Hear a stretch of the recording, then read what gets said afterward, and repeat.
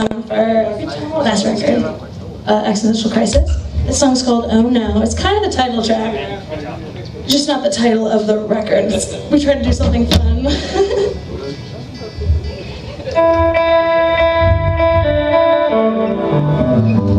Hmm, this song's called Oh No.